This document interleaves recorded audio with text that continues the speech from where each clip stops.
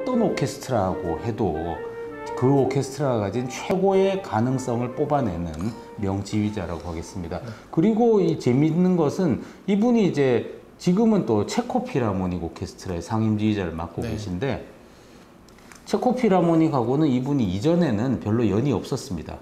2013년인가에 처음으로 이분이 체코 필하모닉을 개건지휘를 했거든요. 네. 근데 체코 필하모닉 단원들이 와 이분 정말 엄청나구나.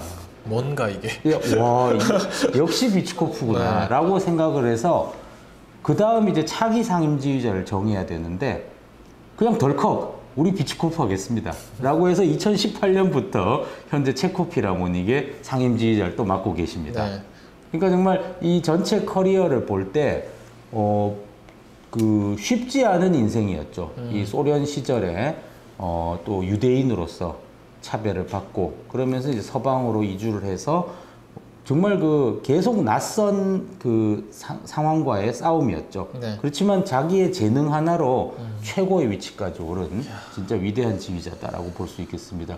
이분이 그냥 오케스트라 지휘만 잘하냐 하면은 또 오페라도 정말 끝내주게 잘하시는 분이시죠. 그래서 어 뭐 80년대부터 뭐 로열 오페라라든지 뉴욕 메트로폴리탄 오페라, 뭐 빈 국립 오페라라든지 이런 아주 최고의 오페라 극장에서 계속 오페라 지휘도 게을리하지 않으시는데 정말 오페라 레파토리도 다양합니다. 뭐 베르디는 물론이고 바그너도 엄청나게 잘하시고 이분이 정말 또 리하르트 슈트라우스 해석에 엄청난 대가시죠. 그렇기 때문에 어 제가 들은 것도 보면은 뭐 바그너의 로엔그린이라든지 비엔나 오페라에서 했었는데 뭐 정말 엄청나게 뛰어난 연주를 들려줬고 또 베르디의 오텔로도 메트로폴리탄 영상으로 남아 있는데 그것도 정말 명연주죠. 정말 불꽃 같은 네. 연주를 오페라에서도 들려주시는 네. 정말 만능 지휘자라고 볼 수 있겠습니다. 이미 언급된 브람스와 쇼스타코비치는 또 말할 것도 없고 그렇죠. 정말 음악 스타일이 어떻게 보면 다른 것 같은 레파토리를 둘 다 완벽하게 해내시는 지휘자죠. 그렇죠. 네.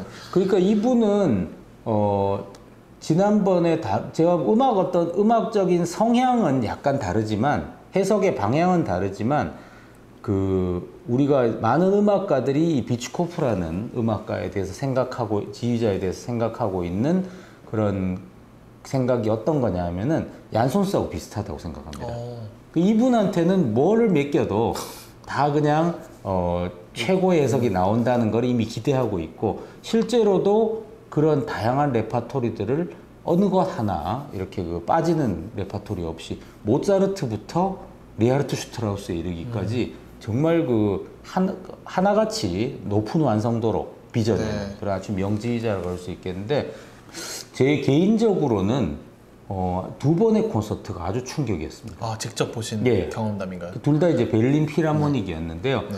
첫 번째는 2008년에 있었던 베를린 필하모닉과의 연주였는데 리하르트 슈트라우스의 알프스 교향곡이었습니다. 네.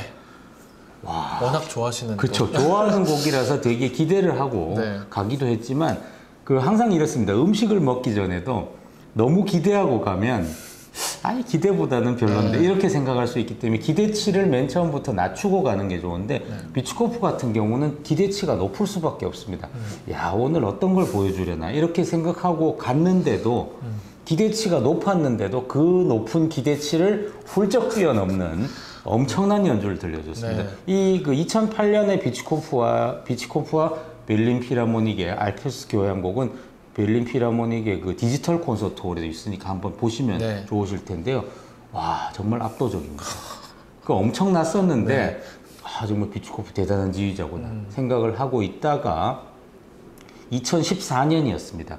2014년이 그때 그 리하르트 슈트라우스 탄생 150주년. 어, 그때 한번 말씀해 주셨던. 해였는데 이때 이제 그 베를린 필하모닉이 리하르트 슈트라우스 탄생 기념 콘서트를 준비했었는데 그때 원래 지휘자가 로린 마젤이었습니다. 음.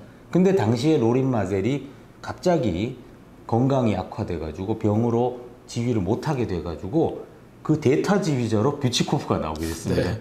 그래서 프로그램이 원래는 all 슈트라우스 프로그램이었는데 1부의 슈트라우스 돈키호테는 그대로 두고 네. 2부에는 제가 또 아주 좋아하는 슈베르트 9번 교향곡 Great를 하게 됐는데요. 와 그날의 연주회가 제가 이제 비치코프 연주와 음반 모든 걸 들은 것 중에 가장 충격적인 와. 연주였습니다. 이 돈키호테가 이 첼로와 비올라가 이렇게 독주자처럼 네. 나와서 하는 협주곡 스타일의 형태지 않습니까? 그래서 굉장히 곡이 막 이리로 갔다 저리로 갔다 하면서 굉장히 그 혼란스러운 곡이죠, 사실. 그 곡을 일관성 있게 칼로 그냥 이 무를 자르듯 네. 딱 쪼개가지고 완전 정리해서 탁탁탁탁 정리해서 들려주는데 네. 와 정말 역시 비치코프구나 생각을 하고 있었는데 2부에 슈베르트 그 Great 교향곡이 자칫하면 지루해지기 쉬운 곡이죠. 네. 계속 무한 반복되는 악절 때문에 그런 거를 또 이 베를린 필하모닉의 명인기를 쏙쏙 뽑아내가지고 굉장히 훌륭하게 연주를 해가지고 정말 그 공연 끝나고 청중들이 완전히 그냥 이 저 열광해가지고 그 박수가 끊이지 않았습니다. 아 제가 본 게 그건데 예, 커튼콜이 커튼콜이 아니라 그냥 무한 박수. 맞습니다. 네, 나가지를 않으시던데요 관객분들이. 제가 그 녹화하는 그날 공연을 봤었는데요. 네. 와, 그 아마 그, 영, 그 디지털 콘서트리 영상 보시면 청중들의 열광이 느껴지실 텐데 계속 이제 와서 나와서 인사를 했는데 오케스트라 다 퇴장한 뒤에도 계속 불러내가지고 네. 박수를 쳐서 그날 되게 열광적인 연주였는데 그때 제 그 아주 좀 시- 신선했던 기억이 끝나고 나서 그 안드레아스 블라우 선생님 아 네네. 가족하고 식사를 했습니다. 아, 네. 했는데 사모님이 아 비치코프가 차기상 그 당시 이제 베를린필이 차기상임지휘자 투표하고 있었을 네. 때였거든요. 아 비치코프 같은 사람이 사- 차- 상임지휘자야 되는데 음. 그참 불행히도 비치코프가 지금은 어떤 인기에 있어서 1순위가 아니기 때문에 아, 네. 지금 그렇지 이 마- 분명히 비치코프가 어, 차기 상임지휘자로 뽑- 뽑힐 리는 없겠지만 이 단원들이 이런 실력 있는 지휘자에 대한 호감도가 굉장히 높다라는 이야기를 네. 하면서 자기는 비치코프가 차기 상임돼야 된다라고 이렇게 이야기를 하실 정도로 모르시는 분들도 계시잖아요. 브리기테 여사님은 아주 음악 아, 엄청난 그렇죠. 애호가시기 때문에. 엄청난 애호가시고 이분도 그 안드레아스 블라우 선생님의 아버님도 이 베를린 필하모닉의 바이올리니스트였죠. 네. 근데 이 브리기테 여사님 부인의 아버님도 정말 전설의 베를린 필하모닉 단원이었습니다. 프리츠 베제니크라고 해서 이 푸르트벵글러 시대와 카라얀 시대 전반에 네. 최고의 트럼펫 솔로 주자였던 전설의 연주가기 때문에 이분은 어린 시절부터 베를린 필하모닉이 자기의 어떤 그냥 놀이터였죠. 네. 그러니까 굉장히 예리한 분석력을 가지고 계시고 그러면서 단적으로 자기는 비치코프가 돼야 된다. 이렇게 어, 제 연주가 증명해 주지 않느냐 얘기를 하면서 그런 얘기를 하시더라고요. 네.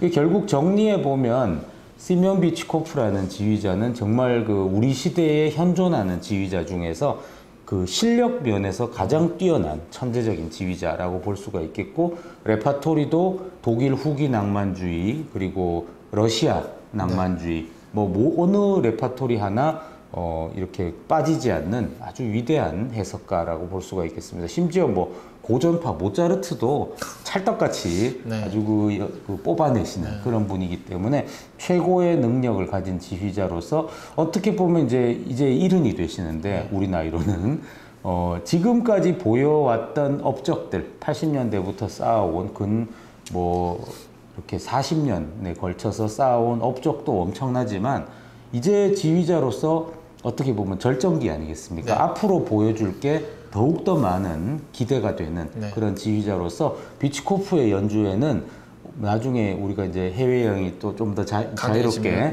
되면은 비치코프가 연주회를 한다라고 하면은 꼭 한 번쯤은 경험해 보실 걸 제가 강력하게 권해드립니다. 네, 저도 이제 베를린 필하모닉이 라이브 콘서트 그러니까 시즌 오픈 한 다음에 이렇게 쭉 뜨잖아요. 그러면은 스크롤 내리면서 보다가 아 그렇죠. 딱 두 개가 이제 비치코프가 온다. 아, 진짜 재밌겠다. 이렇게 생각하고 그렇죠. 또 내리다 보니까 이제 김선욱 피아니스트가 진은숙 선생님 그 아, 곡으로 그렇죠, 하는 그렇죠. 게또 있더라고요. 맞습니다. 그래서 너무 기대돼서 진짜 가서 보고 싶다 이런 생각했는데 그리고 저도 딱 한 번 비치코프 연주를 독일에 있을 때 이제 알테오퍼에서 이제 아 예. 그- 프랑크푸르트에. 네, 프랑크푸르트 방송교향악단이랑 그때 프로그램이 이제 드보로작 8번이었는데 어.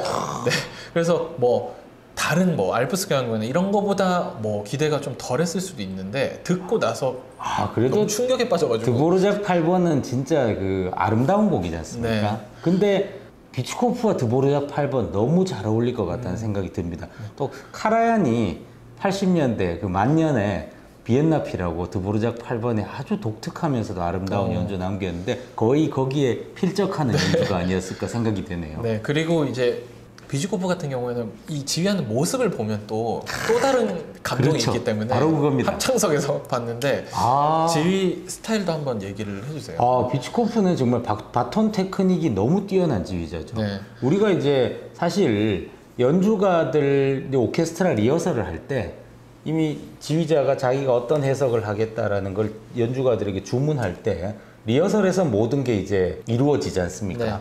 그래서 이제 리허설 할 때 모든 거를 이렇게 다 서로 약속을 해놓고 무대 위에서는 그 약속대로 연주가 되게 돼 있기 때문에 자기가 멋을 부리지 않거나 이런 지휘자들은 약속이 이미 다 돼 있기 때문에 그냥 실용적인 지시만 하는 네. 그래서 어떻게 보면 청중들 입장에서는 보는 재미는 좀 떨어지는 그런 지휘자가 있는 반면에 이 비츠코프 같은 경우는 연주가들과의 약속뿐만이 아니고 자기가 무대 위에서 이 지휘 동작 으로 청중들에게 음악을 전달하는 능력이 또 굉장히 뛰어납니다. 네. 우리가 이제 저같이 아마추어 입장에서는 지휘자가 하는 동작이 시각적인 그런 어떤 행동이 음악을 듣는 그 공감각적인 네. 그런 어떤 그 증폭이라 그럴까 네. 이런 거에 굉장히 도움이 많이 됩니다.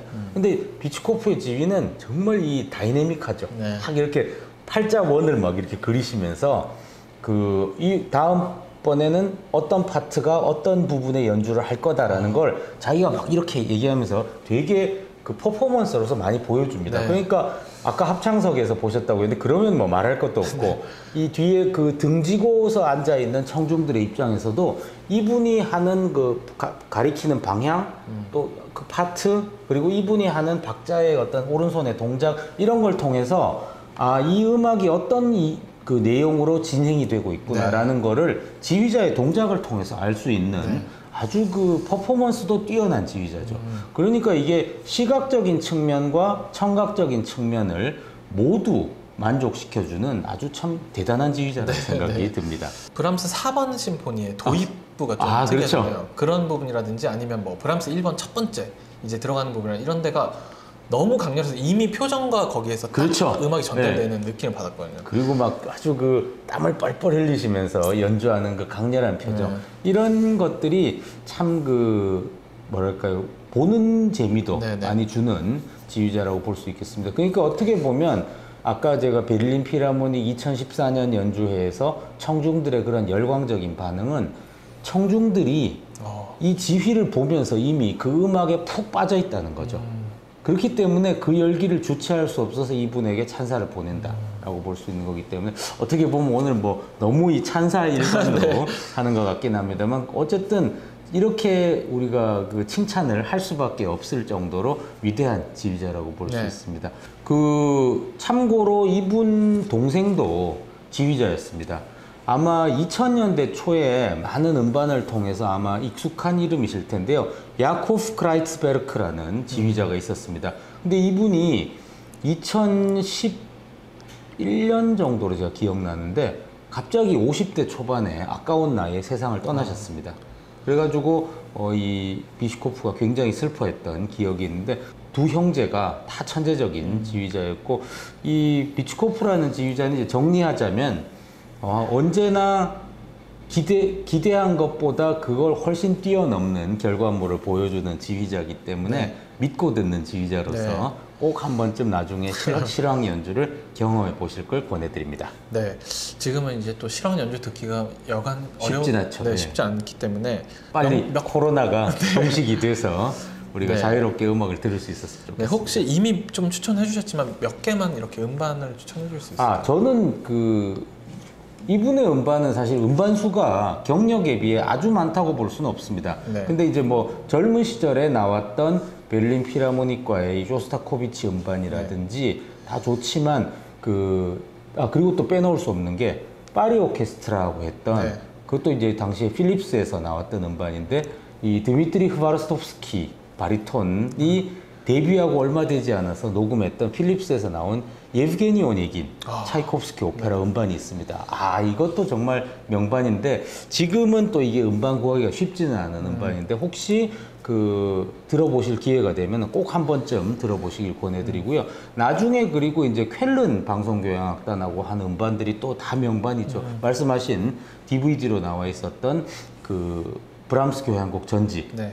그리고 빼놓을 수 없는 또 명반이 그 슈트라우스 녹음들이 있습니다. 슈트라우스의 오페라 중에서 이 아주 바그너 소프라노 유명했던 데보라 폴라스키하고 녹음했던 그 쾰른 방송교향악단과의 이 엘렉트라 슈트라우스 엘렉트라 어. 음반이 또 명반인데요. 이거는 또 그 우리가 그렇게 그 구하기 쉬운 레이블이 아니라서 헨슬러 레이블의 프로필이라고 주로 독일에서 많이 판매되는 이 음반 이거로 이제 소량 수입이 됐었었는데 한번 그 슈트라우스 엘렉트라 비치코프의 음. 반 꼭 한번 들어보시길 권해드리고 아주 슈트라우스의 비인기 오페라지만 빼놓을 수 없는 명연주가 다프네가 있습니다. 아, 다프네는 슈트라우스 후기 오페라이기 때문에 잘 알려져 있지 않은 오페라지만 요건 또 그 유명 레이블인 데카에서 발매가 네. 됐는데 그 당시 주인공을 맡은 소프라노가 슈트라우스 스페셜리스트였던 르네 플레밍이 맡고 있기 때문에 르네 플레밍의 전속인 데카 메이저에서 발매됐던 음반인데 이것도 정말 그 마지막에 그 다프네가 월계수로 변화되는 그런 그 장면은 정말 신비롭거든요.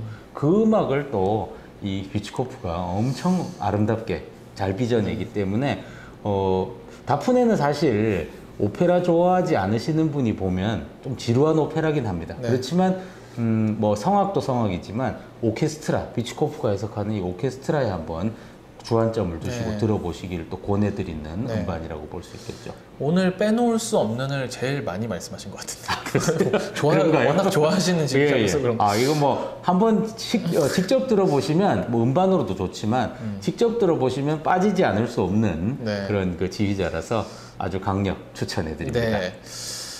오늘은 이제 세면 비추코프라는 예. 위대한 지휘자에 대해서 또 다뤄봤고 어, 재밌게 보신 분들이 많기를 바라봅니다. 네. 오늘 좋은 하루 보내시고 영상 봐주셔서 감사합니다.